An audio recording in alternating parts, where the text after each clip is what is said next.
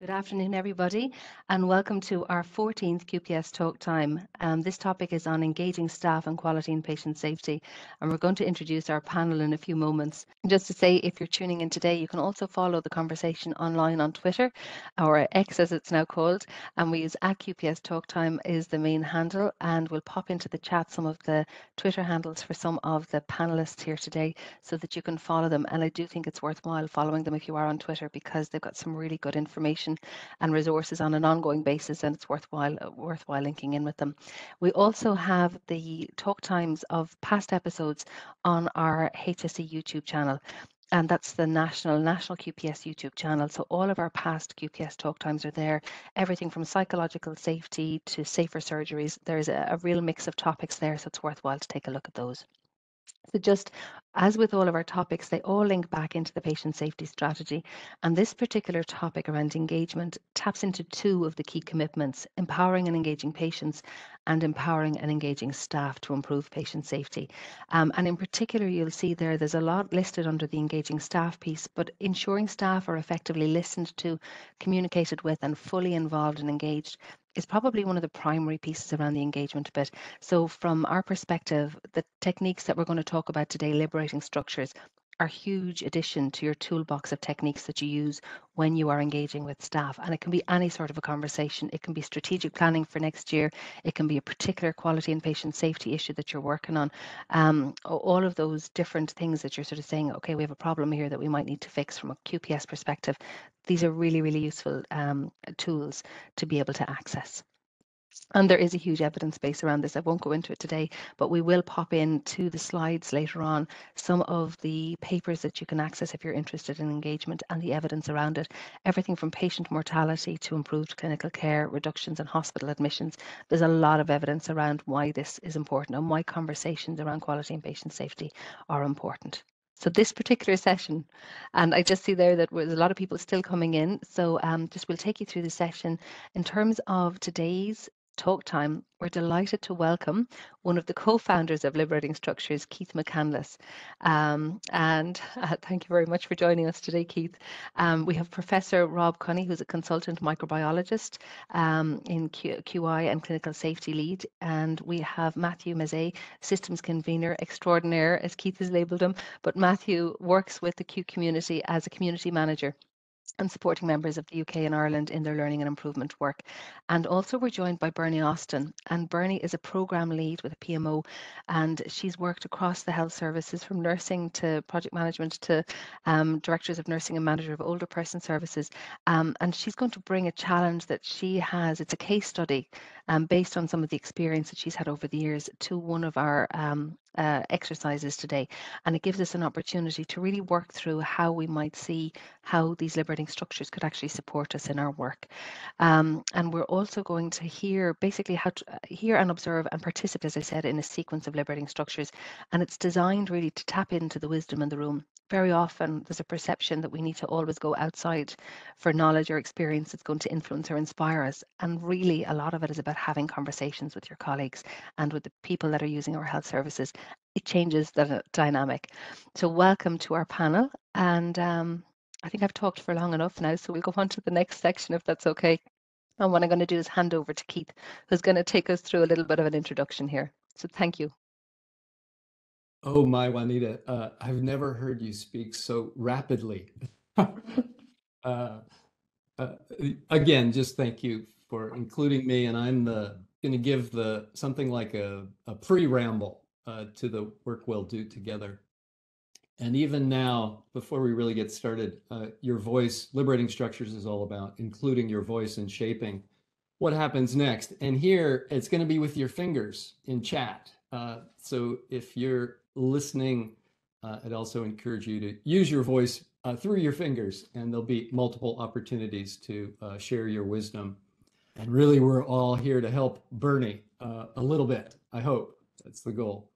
Um, so there's a little bit of a deliberate irony with liberating structures. We're we're going to liberate with with structure, and I feel privileged to be with uh, Rob, uh, Matthew, Bernie, and Juanita to to do this together share a little bit with you. And um, there's a repertoire and this is a repertoire that came out of uh, field work over 20 years uh, with a colleague, and it's been adopted, uh, adapted uh, by people all over the world. And today we're going to point to or use a few of them, the ones with red dots here, and each is designed again to uh, shape next steps. Uh, they're protocols or methods to shape next steps together, and they unleash everyone.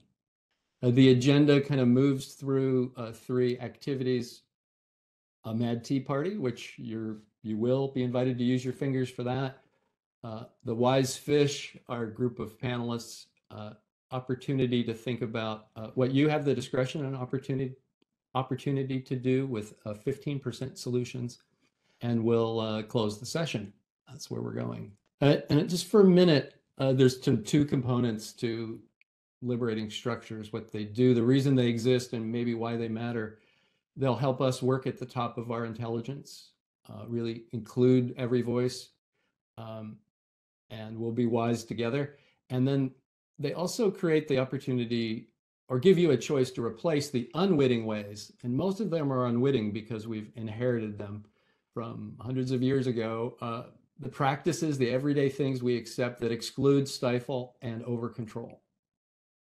So this is what they do. And I'm trying to match uh, Juanita's speed here. it's nearly impossible. It is impossible, but a worthy goal.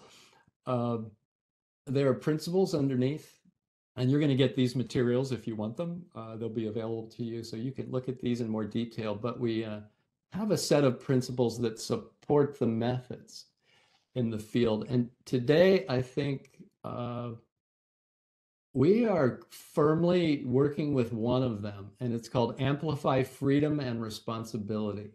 That's, I think that's what's going to come out. Out of the 10, there's one that we're going to uh, go a little bit uh, deeper into. Uh, so, this particular approach, um, after this session, if you don't already know the liberating structures we're using it, you, you should be able to copy it. So, it's expertless it's focused on getting results, hopefully for Bernie, a, little bit of uh, next steps that help her. Uh, it'll be fast, too fast for being comfortable at some points. It's seriously fun, includes everybody, uh, could work for hundreds and hundreds of people or two, one. Uh, it spreads itself and it's modular. Each piece can be put in different order. Uh, and each one has a specific invitation. Um, today, uh, Juanita and I, and we're mostly going to make the invitations to you. There's a, you're invited to participate. Uh, there's specific group sizes. In this case, the wise wise fish in a minute will be uh, featured. Um, there's space and material and a sequence and an allocation of time. And we call that the, the DNA underneath uh, the life, uh, what gives life to each liberating structure. And they're uh, made available through Creative Commons, so there's no no barriers uh, to this. You you can use them all you want. You can share them, but they're not uh, commercial. They're not for sale, and you can't protect them, uh, but they're there for everyone. All right. Last thing. Um, this is an example of the simplest expression of this DNA that what's underneath. It's called one, two, four all. So first you, then in a pair, and then a group of four, and then all together what do you what do you suggest? You're going to have equal time to uh, talk about it. Uh, starts with you as an individual. The groups progress uh, to getting the wisdom of the whole crowd. And there's a very specific sequence. There is structure. It's so simple, sometimes it's hard to see, but that's what we mean by structure, what's on the slide. And um, this activity, I think Juanita is going to get us started on, and uh, it's called uh, Mad Tea. And the fundamental purpose of it is to generate a little bit of confusion and a little bit of enthusiasm. So we call that confusiasm, uh, not an Eastern religion. No, no, I, I, I, like it. I think I'm gonna, gonna, have to adopt that. Um, but I will speak a little bit more slowly for this, and I should always preface it by saying I'm from Clonmel in County Tipperary, and we all talk very fast here, Keith. So, so it's a, it's a thing. Um, but just, just to say, with the Mad Tea etiquette, what's going to happen is in a moment, we're going to pop up some slides with a question on it. It's a sort of a, a, a prompt. And what we'd like you to do is in the chat box, we'll pop up the question. You can put in the number. So like if you're answering question one, put down hashtag one and then your answer to the question. So the prompts for this one are to stay curious, dig deep and have fun. Uh, don't overthink your answers. It is literally rapid fire. We'll have 30 seconds, and I'm going to have a timer here that'll beep to remind me when 30 seconds is up. Um, and finish each of the open sentences with a short phrase. Uh, there's no need to mention any specific individuals or specific cases.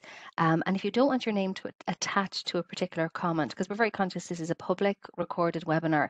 Um, so if you don't want your name attached to it in public, you can share a private message directly to myself.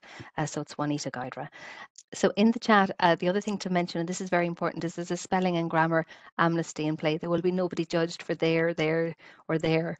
Um, it's whatever you want to pop in. It's as fast and it's as furious as you can. Um, and you'll hear go when the next question comes up. Okay, so we'll get started. We'll get the recorder ready. So given that our purpose is to generate more positive engagement, What's the one thing I do to spark more positive engagement in meetings about quality and patient safety? You can pop them into the chat.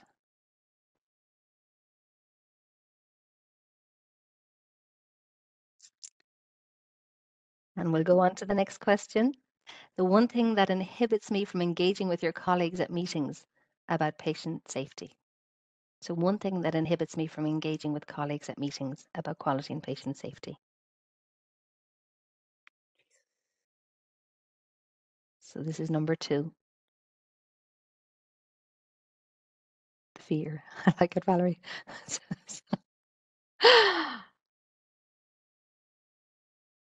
okay, and we'll go on to number three. As you can see, this is really fast. So number three is uh, given the purpose to generate more positive engagement, one thing that helps me get my mojo back is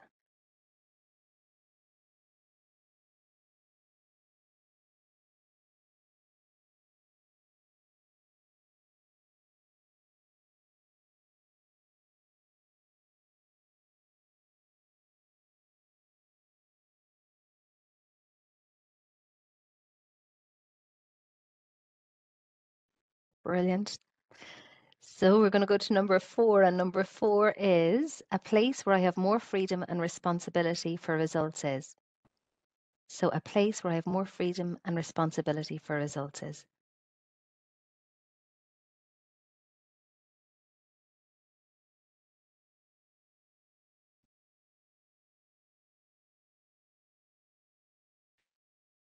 And number five, so number five is given our purpose to generate more positive engagement. All I want is.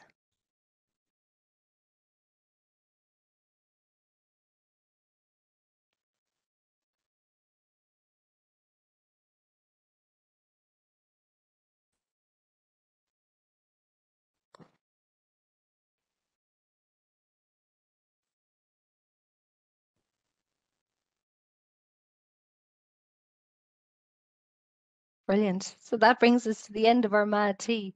So there's some really, really, really interesting answers there as we look through this. Um, and thanks everyone for your honesty. Um, it's interesting just to see sort of some of the comments coming through. I don't know, do people want to take just a second to just scroll yourself through the chat to see what people have responded? Just take a second just to scroll back up through it to have a quick look. Keith, do you want to jump in there? Is there anything you want to say on the Mad Tea? Uh, it's one that wasn't published in the original book because it was difficult to say what it does. Like, what does okay. it make possible? So here I'm trying to get a better name for the for the activity for the liberating structure. What do you think? We say it rearranges uh, a funner, uh, deeper, richer context for taking action. So primary, you know, now we're thinking it should be done maybe before or as a, you're about to think about what action might you take. That's way too wordy. So if you say something good, I'll use it in chat. Yeah, it's interesting. Hazel O'Brien came in there just to say it aloud for lateral thinking. Um, and Adele mentioned self reflection. Um, and it does definitely tap into both of those things. The one thing that I found really helpful with it is it allowed team members to get to know each other a little bit Mm. more.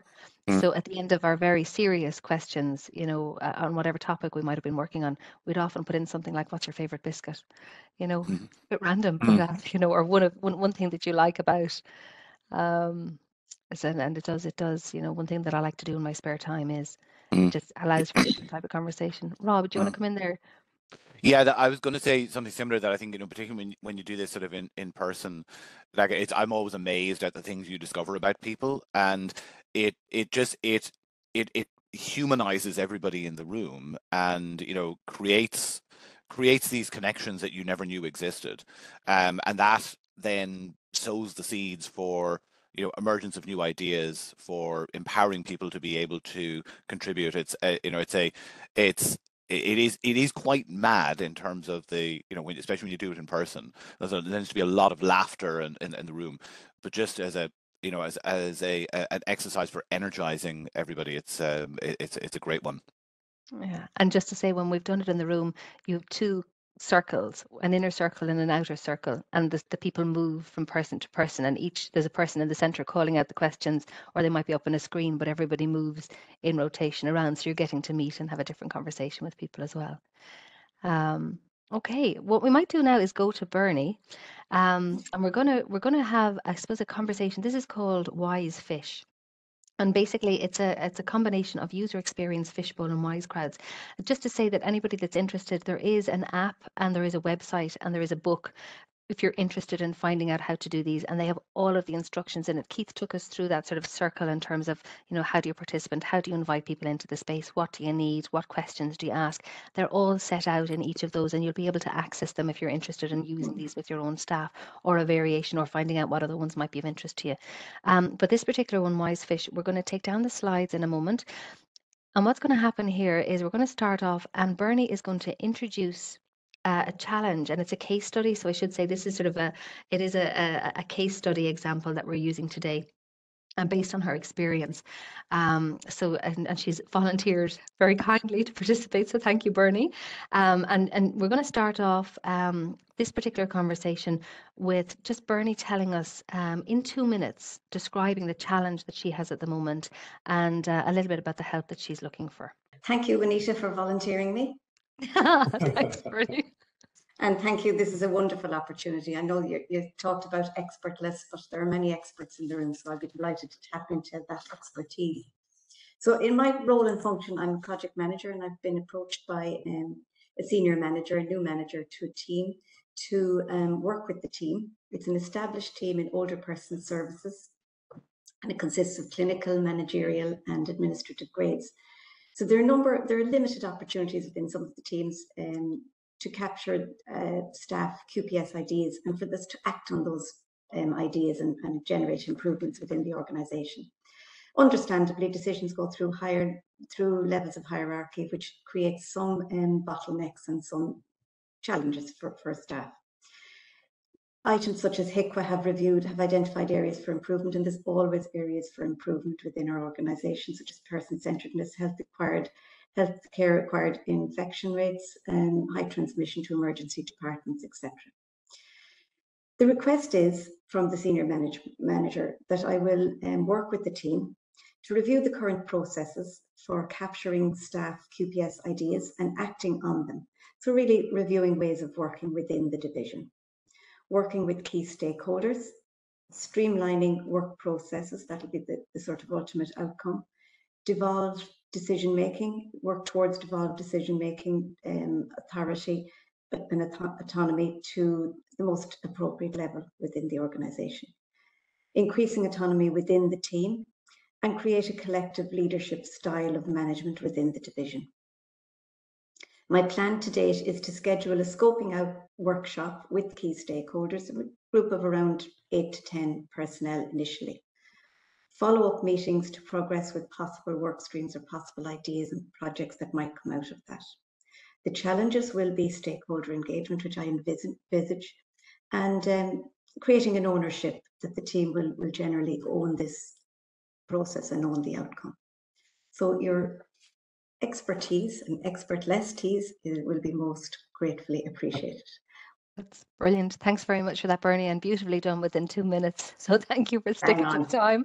Makes my job a li- little bit easier. What's going to happen next is, and just to say that Bernie is sharing an example. Usually, if you're doing this, you're doing it with a, a, a live challenge or an issue that somebody has, and the people sitting around Bernie will then have an opportunity to then ask some clarifying questions, which is what we're going to do now.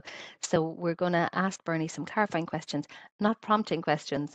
We're not we're not looking for the answer in the question, but we'll we'll hand over now to my colleagues and see does anybody have any questions for Bernie. Bernie, one of the things that I was uh, just wondering about, just in terms of just to get a, a clearer picture of the the structure in which you're you're working. So, are are there existing um, sort of meetings or fora or opportunities where lots of different staff can come together uh, within with uh, you know with, within the kind of structure that you have at the moment? Um, within that team themselves, I'd be coming in as an outsider, so I wouldn't be involved in any of those teams. I'd be coming in as an outsider to Mm. facilitate this change piece. Mhm. Um, but the teams themselves do have management meetings. They do have quite Okay. structured management meetings. So what what is a structured management meeting if they're focused? Uh, what is one of what what is one of those meetings like? Eh, Yeah, could you tell us that? as an outsider, um, I would, but but I do have experience um, of working in the organisation, so they would be very agenda focused, um, poss- possibly, and this is no criticism, um, because it's delivering services. They're quite challenged with time and with meeting QPIs, etc. So the space for being innovative and for creating um, opportunities for change to occur may not be necessarily um, available or easily achievable. Understand?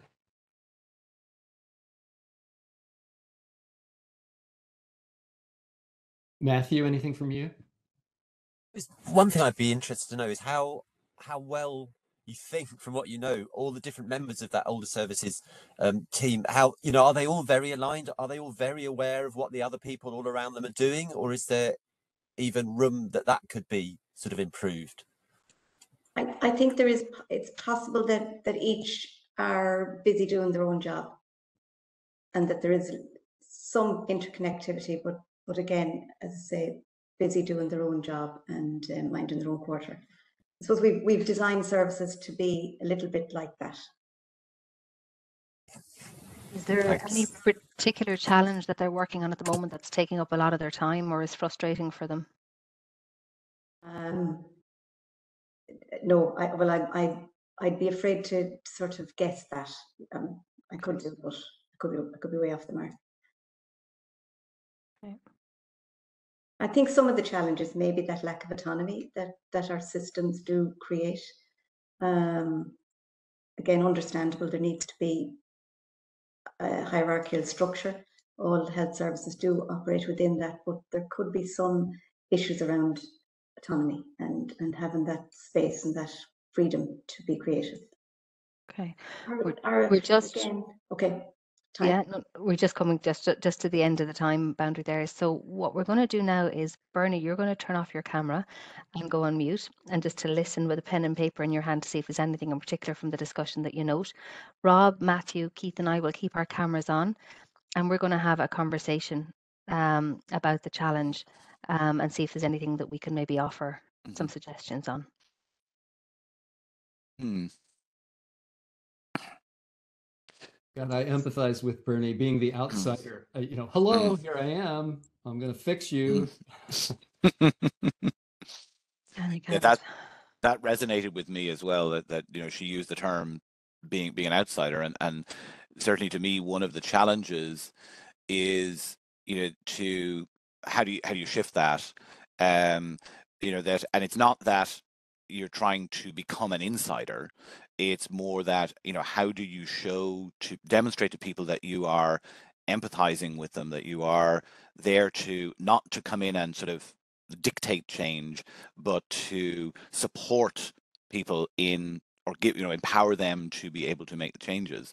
And so I, I thought one, you know, uh, you know, if if if I were faced with a similar situation, I think one of the first things that I would be doing is probably using the the um, you know the simple ethnography liberating structure. So, which is a fancy word for going and actually sitting down, observing the system close at hand, talking to people, saying, you know, well, why do you do things in in this way, um, and really to put that time at the outset to get an understanding of the of of the system.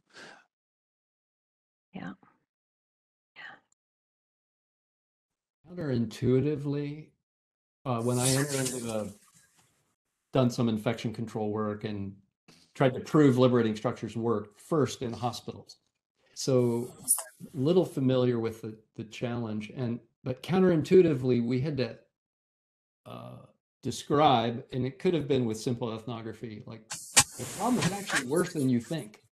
to focus attention, we needed to we were working on superbugs, you know, C. diff and uh, methicillin resistant staph aureus and things like that. And so we we needed to like make the problem or look at the problem in a way that everyone cared about it more and then immediately uh, i would show up as the stranger not only not even in healthcare you know uh, but here I, i'm here to help and typically what we would do would be to invite whoever really cared to, spend 10 minutes to learn a couple liberating structures and go out to the unit itself get out of the management meeting, go to the unit and ask, you know, how can we be sure that everyone, and this is TRIZ, uh, you know, I know you've used TRIZ, go right onto the unit, almost uninvited. You know, we may have told the manager we might swing, you know, somebody might swing by today and, and ask whoever's right there, uh, how could we be sure that every everyone who left this unit left with a superbug? That's making the problem worse. That's amplifying before you can actually get people to take it on. Uh, and and that was purposeful. I mean, the answers to that question are the things that you need to uh, stop doing. Right? It's actionable once you find out what are all the ways that we could uh, give everyone a superbug. You you've got to stop them. I mean, mm. at some point, you all groups are a little self-destructive or or a little unintentionally counterproductive. So anyway, that's I think getting over that, getting out of the management meeting and getting those folks into the right onto the front line and yeah. amplifying a little bit the problem. There's something coming up for me there. You, you, you know, you talked about making people aware of the challenge or an issue, and I think, you know, the user experience fishbowl, whereby people who have maybe experienced the impact of a superbug or a family member sits in the center and the staff have an opportunity to hear about their experience um, and you know what impact it had on lives might be something that would be useful as well there's something else co- also coming up for me around the autonomy piece so if if autonomy is an issue you know is there a sense of learned helplessness whereby people have always done it a certain way and now we're asking them to take on you know more is there something around that that would be helpful to break that down a little bit or to you know, have a different type of conversation with staff about it so that they know they have power or autonomy to do some more of this work. There's, something I might add, uh, kind of relates to autonomy, and which maybe could be done in parallel with the more liberating structure stuff. I was just thinking that there's something uh, called conversations of interdependence, which isn't which isn't actually a liberating structure, but it's where you get people. It, it relates to one of the liberating structures around relational coordination and really increasing that quality of relationship across the silos. And there's there's just a set of five questions that you put people into pairs who maybe aren't so well connected and they just go through these questions in a discussion and it, it starts to build those links across the, the, the boundaries that are often there. And that could be something that you wouldn't have to do yourself because you, you could you know get other managers to do to set up those little pair discussions separately and it would just kind of make the whole thing a little bit more, more likely to succeed because without relational um, the relational coordination often things don't quite get to where you want them to go. So that that would be one sort of almost like parallel um, suggestion uh, alongside the other things. Yeah, yeah. I, I think one of the things that that that that Rita touches on, Matthew, is that the is that you know we've mentioned you know a bunch of potential sort of liberating structures based or or you know liberating structure like um, uh, uh, uh, things that, that Bernie could try in in in uh, in this situation. But I think one of the key things with this is that it's it's not that you're saying you know like here here's the box of liberating structures cards. Bernie, take these and go in and go in and fix it.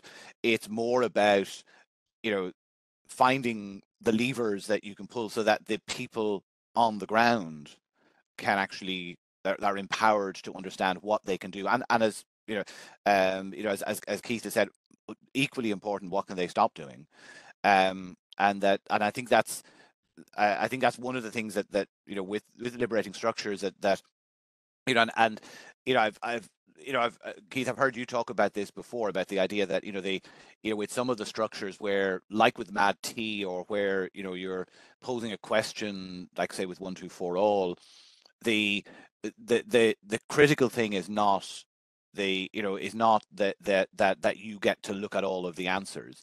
The critical thing is that you're asking the question um, and it's the you know it's the interaction between the people in the system um, that you know I, ideally you want to sort of just set up the conditions for change for emergence to happen so you can then then step back.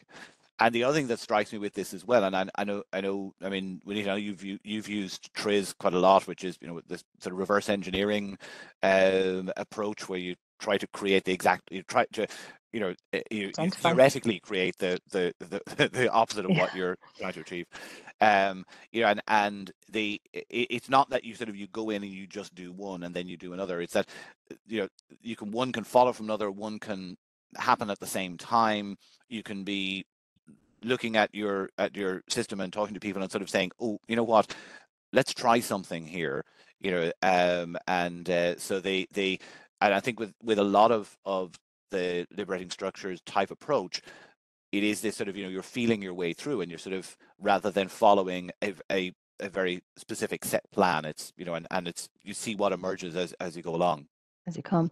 There's something coming up for me as well about whenever we've done TRIZ before, one of the things that I found is that stopping at TRIZ is never enough. You need to look at the 15% mm. solutions or what are we actually going to do with the information we mm. have. Otherwise, mm. everyone goes away very depressed.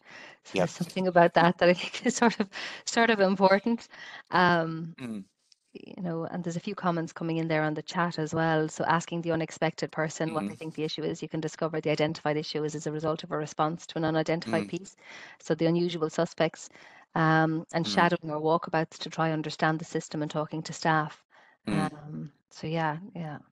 Um, Just for for Bernie, her uh, selflessness in showing up on the unit is important. And when we were, we did three big uh, multi-site research studies with liberating structures and uh, eliminating superbugs. And one thing we found in each local setting, each unit, we wanted to make progress, uh, we couldn't use the same approaches. Different things worked in each unit. And we really, we may have been working in three or four units at the same time in one hospital, but all we really needed was one unit to make significant progress, measurable progress on are we eliminating uh, the transmission of the superbug? And once one unit started to do that, the other managers of the other units would go over and like, what, what, what are you, what are you doing here? What are you doing here? But each, well, they may, may have been using discovery and action dialogue or TRIZ or uh, one surprise was uh, improv prototyping over lunch with an audience of 200. We went in and did four scenes uh, illustrating what the challenges are and what you could do to fix it. And uh, that made a huge difference to go to where the people were and address we were addressing things like what do you wear as you transport a patient? What about the doctor who wants to come into the room that says, I won't touch anything? The doctor's pretty powerful. You know, what are you going to say? So we did a scene on just what do you say when they're at the door? Mm, mm. pushing their way in. What do you what do you have to say? What are you going to do? And I'm Yeah. I'm very conscious that this conversation could continue. Um, but mm. in terms of the time, we're just a little bit over. Mm. So we, we might go back to Bernie um, Mhm. and just see does she have any other thoughts to add in based on our conversation. So Bernie, if you'd like to join us again. Mhm, Okay. Right. Firstly, that was really, um, really positive to have the the, to be muted and have the camera off because I couldn't inter. I had to just listen, and that was really powerful. Um, for me, you, you picked out some of the things that that do home through. I suppose it's about generating an empowerment within that team, but doing it as an outsider is a big challenge. Um, and that's, I think, going to be my key challenge, really. I like the idea of the 15% solutions because if you get something positive coming out of any meeting, then you get, you, you sort of win the crowd a little bit. Um, and also, I suppose, the, the idea about um, going out to the units or going out to the areas that are delivering the services or reaching as many people as possible in some way to find a creative way of doing that. Remember, this is this is in a community setting, so you have a large geographical area. So it's not always easy to reach people in those sort of working environments. And there can be elements of lone working as well. So very challenging to get engagement there. Um, but all really positive stuff. Um, and thank you for that. Thanks very much for that, Bernie. Um, it's the sort of thing that with this particular one we could continue to talk about. Yeah. Um, and and definitely, I think the more that we sort of elicit the conversation you know, gems, as they'd say, you'd probably add to them. Um, just in terms of Rob, Keith, and Matthew, is there anything you wanted to add in just as we finish this particular structure? Bernie, I addressed the uh, the training needs or like the simplicity of a liberating structure when you're not in a setting where everybody's collected. Just use it say, can you do that? Can you can you do what I just did? And so you recreate, you want people to copy what you do. And don't do anything that's so complicated that it can't be copied by somebody in that setting. Mm-hmm. And it's really tempting because you're a pro. You know, you're trained within an inch of your life. I'm sure you are. Don't use it. Don't do the, don't do the thing that you know best, which is to be the expert. Mm as I wave my finger at you. Uh, yeah. yeah. And one of the things that that uh, very uh, sage piece of advice that I learned from uh, uh from a, a, an expert in this area, namely uh, Juanita, uh, which is don't go in and sort of say we're going to do liberating structures, you know, or you know we're going to do we're going to do a Russian um, you know reverse engineering concept called Triz. No. it's just it's uh, you know it's just let's try this you know and, and and then if somebody's interested you can sort of say oh well by the way this, this actually i didn't make this up. This you know is, is a thing from from liberating structures. Uh, but you know because people can get um, a bit scared off by you know when you by the technical language we love it but uh, and you can you can also pop a, I was going to say you can always pop along to Q's Liberating Structures user group or the, or the Scottish uh, group and just try something out there before you use it in the you know out in the in the real world. You can mm-hmm. kind of it's a kind of safe place really a sandbox or whatever to use them there are these different places so people really kind of find that valuable because you can make the mistakes there it really doesn't matter at all does it and, uh, and if you've never used it before then you know you'll have used it once and it's it's it's easier. So there, there's you know at least a couple of places where you can just try them out whatever you whatever you've got in mind. Yeah. Um, and I'm not sure if you can still hear me. I've uh, just a bit of technical stuff going on here, but um, definitely I think our learning has been we generally getting straight into the work has been the piece that has been most beneficial. Um, and I definitely think having something tangible that people can take away and do today, and then that builds a bit of momentum, and then there's a greater sense of engagement on the other pieces of work that you might need to do. But tackling something that is a you know causing me the most grief that's why i was wondering about that is there something there that's causing people a lot of grief is often a good starting point we might look at the next 15% solutions piece so this particular one, we're just going to pop up on the next slide if that's okay. And the question there is um, a 15% solution. It's something you can do right away without needing any more freedom, resources, permission, authority, or control. It's something you can do in the moment. And given what we've talked about today, what's one thing you can do right away where you have the discretion to act right now? Um, one of the things that I know you had said very earlier on, I think Keith was, and this is in a previous conversation that we'd had, was that if you've the same people and the same processes that, you know, and the same structures, the thing to change is the patterns of how we relate together. And that always stuck stuck with me. Yeah, what liberating structures are uh, rules that establish a new pattern. So yeah. deliberately, but ironically, we're changing the rules that drive the pattern. Okay. So we might go on to the next slide if that's okay. And just as people pop their questions into the chat box, would you like to take us through this a little bit or maybe touch on one or two of the pieces of it? Okay, Juanita, you're asking me to be expert about this slide. Uh, so I'm Never. going to ask you some questions back.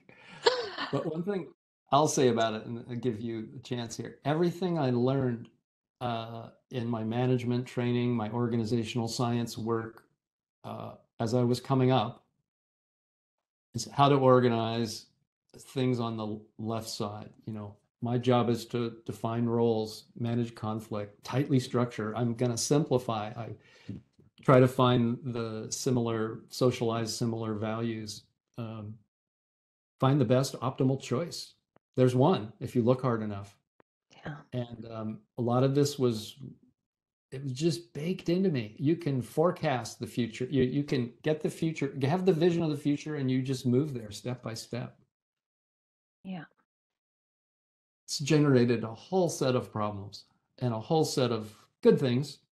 But the problems, the patterns in our training and how we think is mostly there.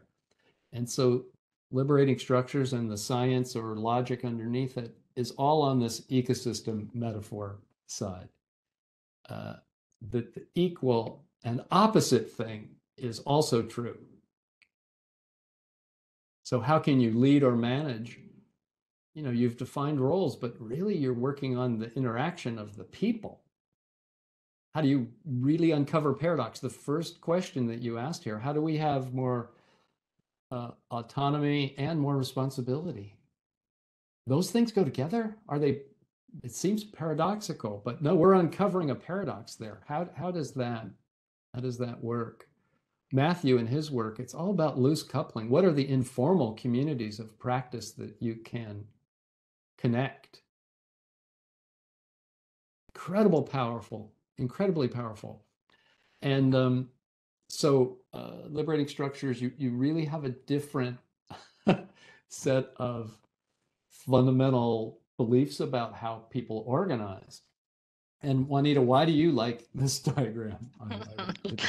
I, I, think I like this diagram because I think one of the biggest learnings for me in this particular work, um, I would have been very much, very much on the left, you know, very clear role. And and I do think I do think there is a place for that in healthcare. I think there's times when you do need to have a certain amount of that, um, because we can't function really without it. But I think probably my greatest learning is being uncomfortable with the unknown.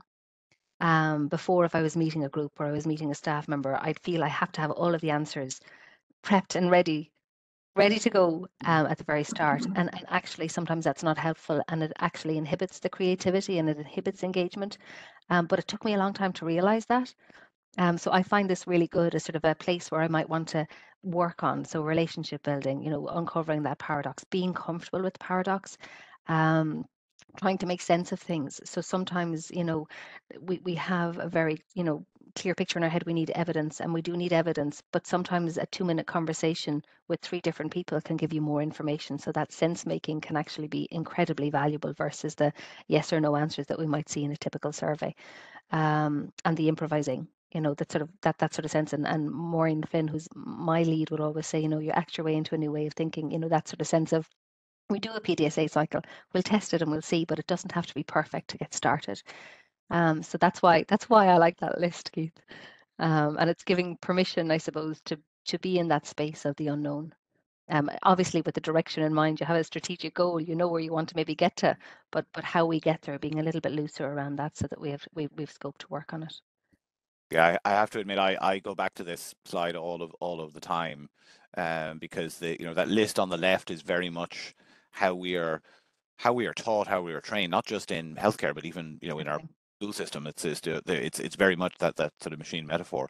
But it strikes me when you look at this slide and you go back to Bernie's uh, description of you know the her case presentation, uh, you can you can pretty much map everything on this slide to what Bernie was describing, and the you know and the, and it's the the goal is not to not to shift from this to get rid of the stuff on the left and only have the stuff on the right.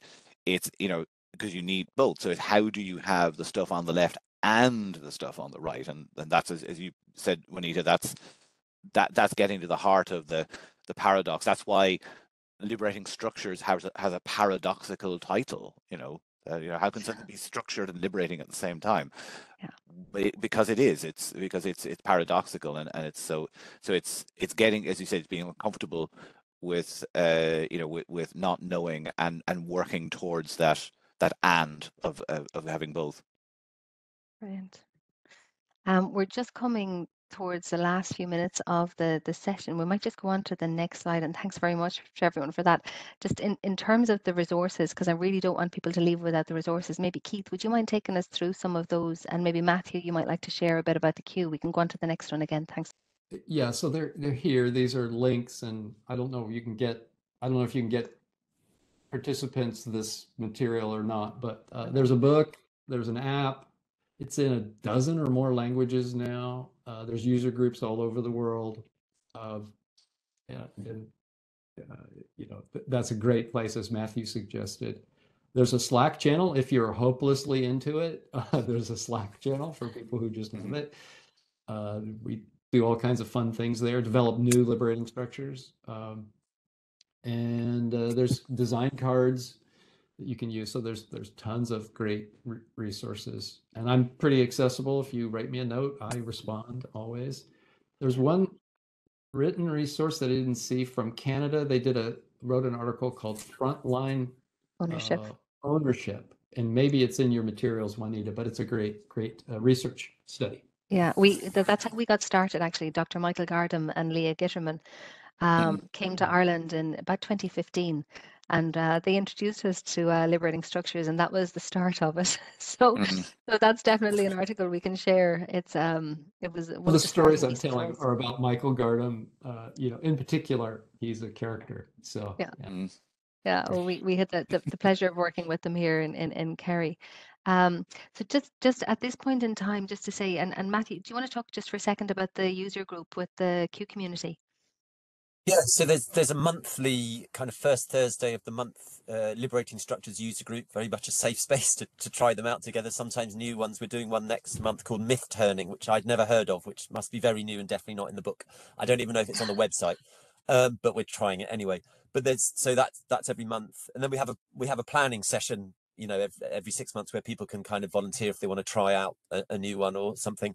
But but Scotland as well, liberating structures. Scotland was also a couple of members were both keen on liberating structures, so I brought them together, and now now there's been a group going on there. So that's another place where, um, which I sometimes go along to, but it's it's you know go along to both, go along to lots. There are there are people that work with Keith that that offer sessions, um, Fisher and so on as well, and you know there are there's free training. Well, sometimes free, sometimes cut price that happy happy courses do. They they do liberating structures for NHS people uh, that's that's either free or sort of half price or something like that. Um, I, I was just about to paste that info in the Liberating Structures user group to let people know the kind of code and what's coming up. So there are all these kind of places to kind of dip your feet in before you take the plunge. But taking the plunge is great as well. Yeah. And I do think one of the things to say to people is you don't necessarily need to do a course. You can literally look at the app, you can look at the website, find something that the things that I started off with were one, two, four, all. It's a really simple one, it's really straightforward. Um, impromptu networking. So taking something simple like that that you're comfortable with and say, okay, I'm going to test that and try it with a group um, and just get stuck in. It is, it, it does change the dynamic, change the topic of conversation um, and the type of conversation that you're going to have with people. Um, just to say thank you so much to our panel. We have one or two more quick slides to pop up just to signpost our upcoming sessions. So the next session that we have is coming up. Um, it's hospice friendly hospitals, um, and that's in two weeks' time. And you'll find the details on our website so, and, and on Twitter so that you can register for that upcoming one. Um, and uh, the other thing to say, I suppose, as well, is just to say um, all of the previous webinars are available online and you'll be able to access them. There's also some very interesting podcasts and um, YouTube clips with Keith if you Google them, um, and you'll you'll find um, with all of this sort of stuff that there's a broad community there that are interested in this that you can tap into. You can follow us on Twitter uh, and, as I said, the national U- uh, YouTube channel. Um, and thank you so much again for joining us. Um, and best of luck with this. Uh, we know that there's really good work happening out there at the moment. So if you're doing something really good, share it with us. We have our newsletter quality and patient safety matters. We're always looking for good stories that people are willing to share with us because that whole concept of positive deviance and being able to share the good stuff, that's how people can tap into it and learn from others that are doing this sort of stuff. So thank you so much um, for joining us today.